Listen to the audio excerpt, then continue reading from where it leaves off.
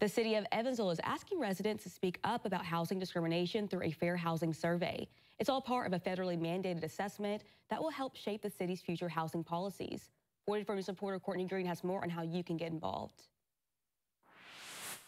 The city of Evansville wants to know have you faced housing discrimination? They're giving residents the chance to anonymously share their experiences through a fair housing survey.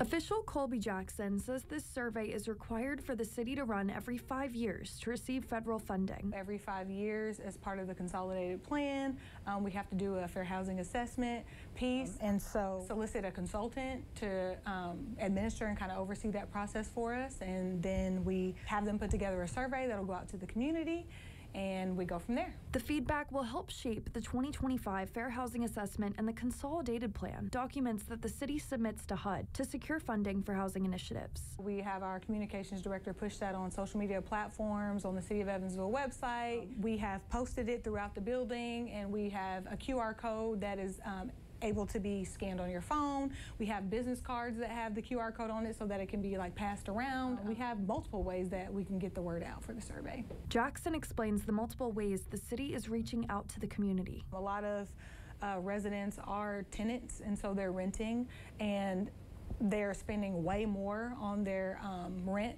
and then they bring in their income. And so that is one of the things that we hope to help alleviate, you know, over the next five years. Housing affordability remains one of the biggest challenges for Evansville residents. Many renters spent more on rent than they bring in, and Jackson hopes that this survey results will help guide solutions to this problem. When we receive that feedback from those in the community, that will help us realize, you know, what are some possible solutions that we can um, implement that might help alleviate that particular barrier. While the city has yet to fully identify all the barriers. Jackson says the survey will help drive their next steps. The survey is open until October 31st, and residents are encouraged to participate.